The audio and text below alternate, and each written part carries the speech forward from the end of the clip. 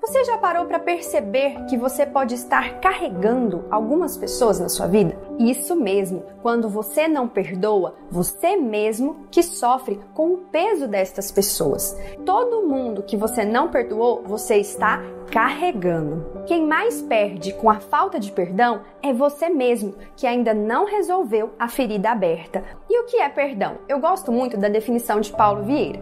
Perdão é recuperar a sua força e o seu destino. Perdão é assumir a responsabilidade do que você está sentindo. É a paz que você aprende a sentir quando decide liberar essa pessoa. Mesmo que ela não tenha mudado, você pode decidir mudar os seus sentimentos e a sua visão sobre essa pessoa. Perdão é para você e não para o autor da afronta. Refere-se à sua resolução e não da outra pessoa. É uma habilidade que precisa de treino. Quando sabe quando você faz alguma coisa nova, uma coisa que não é um hábito seu, se perdão não for o seu hábito, no começo pode parecer difícil, mas depois, quando você começar a ver que é recompensador, fica muito mais fácil. Perdoar te ajuda a ter mais controle sobre os seus pensamentos, porque você tira o foco errado e coloca em questões mais saudáveis.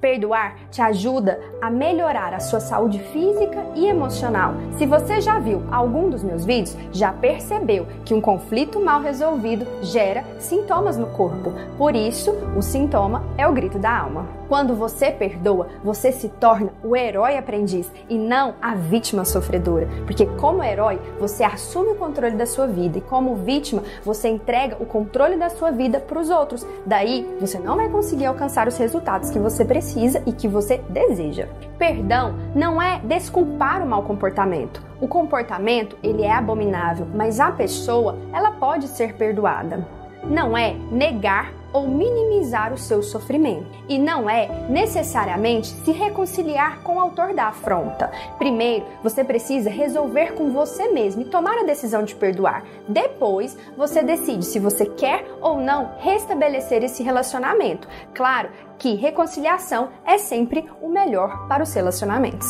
Resumindo, o perdão libera tanto você como a pessoa envolvida. E a falta de perdão gera pensamentos e sentimentos distorcidos que vão deixar a sua vida mais pesada e principalmente cheia de rancor. E agora, vamos aos passos? Primeiro, perceba quem que você está precisando perdoar. Talvez seja você mesmo, talvez alguma pessoa que está distante de você ou perto, ou ainda você pode precisar perdoar Deus. Segundo, aceite que o fato aconteceu, mas já passou a lembrança fica, mas você decide que tipo de lembrança você quer guardar. Terceiro, escolha abrir mão da justiça própria ou de ficar esperando que a pessoa venha te pedir perdão. Quarto, haja. Pegue agora o seu celular, mande uma mensagem ou, se puder, ligue para a pessoa que você está precisando liberar perdão ou pedir perdão e resolva isso logo. Se puder marcar um encontro olhando olho no olho, melhor ainda, porque nada mais saudável do que relacionamentos restaurados. Mãos à obra. Pense agora na pessoa que mais te machucou. Descreva o que, que ela realmente fez que te machucou Tente lembrar detalhes. Que consequências na sua vida tudo isso causou?